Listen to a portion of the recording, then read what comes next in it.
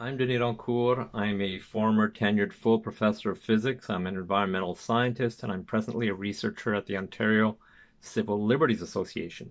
And today I want to tell you about some inconvenient science that is simply not talked about in the mainstream media or by government officials in relation to COVID 19.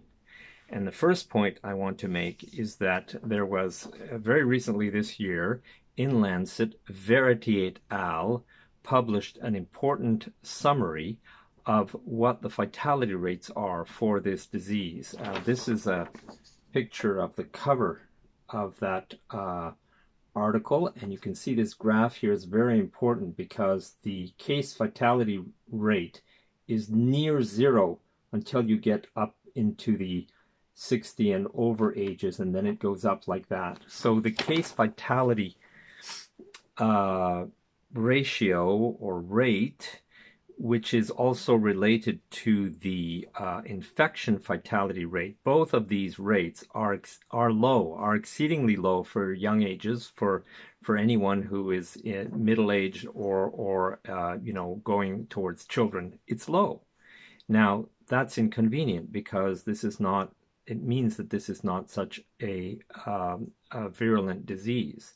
Now, this is true unless it is very contagious. So the measure of contagion, and that's where the other part of the inconvenient science comes from.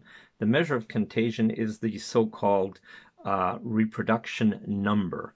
Uh, so the reproduction number is how many people on average typically one infected person will infect. How many others will they infect? Will that one person infect? So there's a lot of talk about this ratio, and there's a lot of uh, um, various simulations and calculations that are done uh, to estimate the ratio. And but the, the problem is, none of this work that you can see in the public domain, all of it ignores some inconvenient research, which is a landmark study that was done in 2010 by Shaman et al., and that was published in PLOS Biology.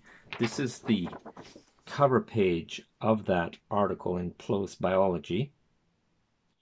And what this article found is that it was able to, for the first time, explain in a, in very convincingly with with with with data and simulations uh, to understand that data, um, what causes the seasonal variations in um, these uh, viral uh, infection of, of the respiratory tract uh, uh, and, and the extra mor- mortality that is associated with those. What causes this large seasonal change in uh, temperate latitudes?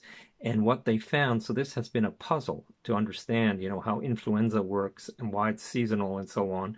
This has been a puzzle for a long time in, in, in the science community. But these, these guys, Shaman et al., solved that puzzle in a definitive way they found that it was due to air humidity. In other words, the absolute humidity in the atmosphere is what is such that if it's dry, the droplets that are carrying the virions or the viruses will uh, will shrink very quickly and will become uh, aerosol particles that are maintained for a long time in the air that, that can be easily breathed in that will get in through uh, that will travel easily everywhere and that will be carried by the atmosphere without being gravitationally settled or deposited if they're small. So the dry air makes the droplets small so that they're everywhere. They're a cloud, they're a fluid cloud that you breathe in, and that makes it very infectious. Whereas if humidity, air humidity r- rises, then the, the big droplets stay big and the small droplets grow by by condensing water on their surfaces and the bigger droplets therefore very quickly gravitationally settle and are taken out of the atmosphere so you don't breathe them in. This is the mechanism that drives um, how how contagious these diseases are, the seasonality of the contagion, and the the uh, basic reproduction number can vary fourfold over the course of a season because of this effect. So it's a gigantic effect.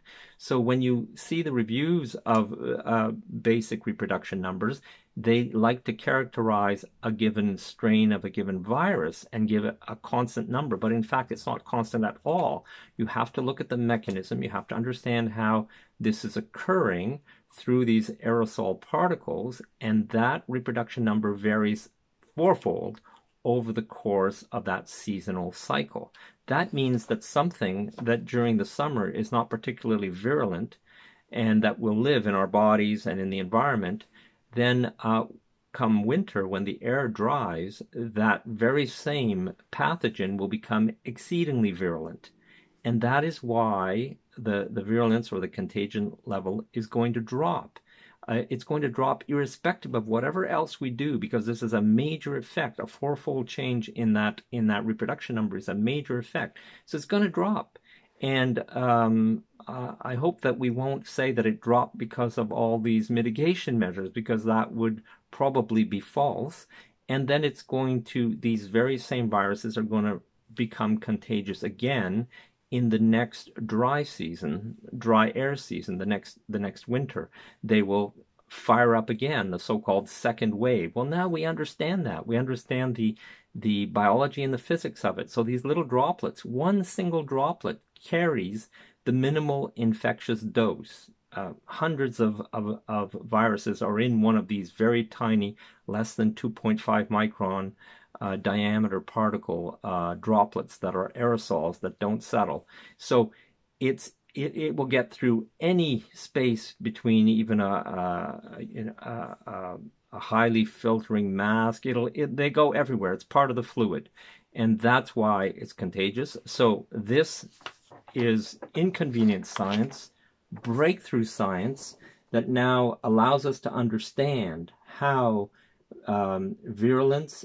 and contagion of these viral uh, infectious diseases of the airways, how they operate. We know this now. Why is this science not being admitted, discussed everywhere?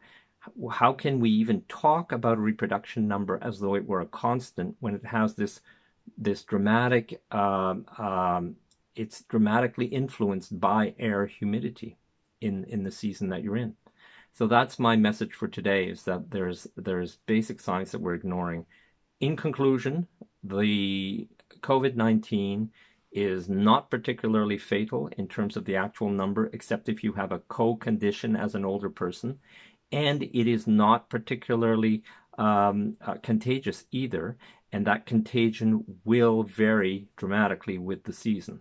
That's all there is to it. That's it.